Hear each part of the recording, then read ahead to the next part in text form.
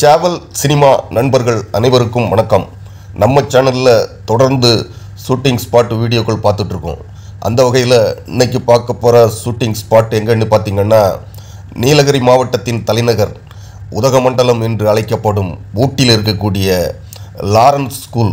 தி Lawrence ஸ்கூலில் எடுத்த திரைப்படங்கள் என்னென்ன அப்படிங்கிறது பற்றி தான் இன்னைக்கு இந்த வீடியோவில் பார்க்க போகிறோம் ஊட்டியில் லவ்டேலுங்கிற மலை கிராமத்தில் அமைஞ்சிருக்கக்கூடிய இந்த லாரன்ஸ் ஸ்கூலுக்கு எப்படி வரணும்னு பார்த்தீங்கன்னா ஊட்டியிலிருந்து ஒரு ஆறாவது கிலோமீட்டரில் லவ்டேல் ரயில்வே ஸ்டேஷனுக்கு பக்கத்திலேயே தான் இந்த லாரன்ஸ் ஸ்கூல் அமைஞ்சிருக்கு. ஊட்டியில் லவ்டேல் மலை கிராமத்தில் அமைஞ்சிருக்க இந்த லாரன்ஸ் ஸ்கூல் வந்து லவ்டேல் ரயில்வே ஸ்டேஷனுக்கு பக்கத்திலேயே அமைஞ்சிருக்கிறதுனால ஊட்டியில் இந்த லாரன்ஸ் ஸ்கூலை வந்து லவ்டேல் ஸ்கூலுன்னு சொல்லுவாங்க.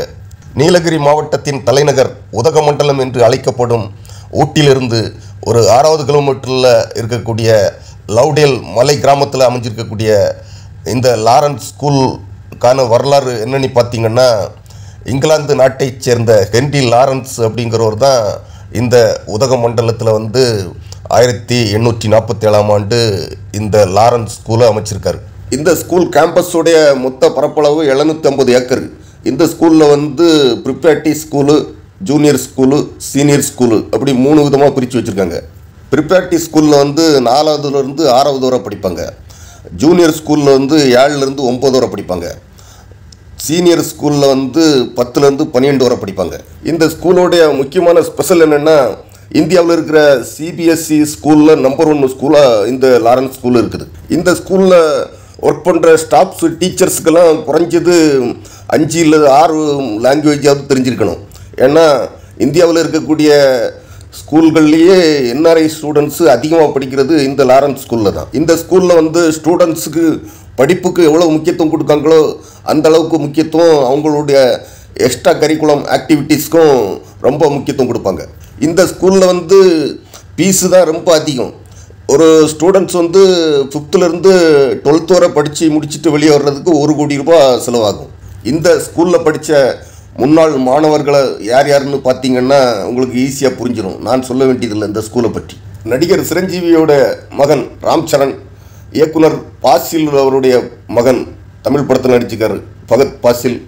அடுத்து ஆக்டர் டைரக்டர் விஜய் மேனன் அடுத்தது சி. விஜயகுமார். இவர் எஸ்சிஎல் கம்பெனியுடைய சிஇஓ அடுத்து அருண்குமார். இவர் கேபிஎம்ஜி கம்பெனியோடைய சிஇஓ அடுத்தது ஆனந்த் மகேந்திரா. இவர் வந்து மகேந்திரா அண்ட் குரூப் ஆஃப் கம்பெனிஸோடைய எம்டி சேர்மன் எல்லாம் இவர் தான் அடுத்தது அல்போன்சு புத்திரன். இவர் வந்து நேரம் படத்தோடைய அப்புறமா பிரேமம்னு ஒரு படம் பண்ணியிருக்காரு. இந்த படத்தோடைய டைரக்டர் இந்த லாரன்ஸ் ஸ்கூலை தமிழ் திரையுலகுக்கு அறிமுகப்படுத்தியது வந்து ரஜினிகாந்த் தான். ரஜினிகாந்த் குஷ்பு நடிப்பில் உருவான அண்ணாமலை திரைப்படம் தான் இந்த லாரன்ஸ் ஸ்கூலில் படமாக்கப்பட்ட முதல் தமிழ் படம். அண்ணாமலை திரைப்படத்தில் அண்ணாமலை அண்ணாமலை பாடல் சில காட்சிகள் இங்கே படமாக்கியிருப்பாங்க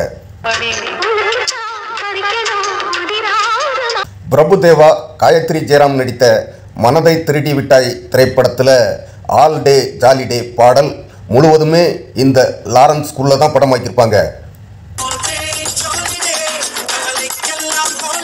விஷால் கன்சிகா மத்வானி நடித்த ஆம்பள திரைப்படத்தில் வரக்கூடிய பழகிக்கலாம் வாட்ஸ் நேமக நம்ம பாடல். இங்கே வைக்கிருப்பாங்க ஊட்டியில் இருக்கக்கூடிய லவ்டேல் மலை கிராமத்தில் அமைஞ்சிருக்கக்கூடிய இந்த லாரன்ஸ் ஸ்கூலில் வந்து இன்னும் நிறைய தமிழ் படங்கள் எடுத்திருக்காங்க. அந்த படங்கள்லாம் என்னென்ன என்பது பற்றிய அடுத்த வீடியோ ரெடி பண்ணிகிட்ருக்கேன் அதுவரை உங்களிடமிருந்து விடைபெறுவது உங்கள் நண்பன் சேவல்.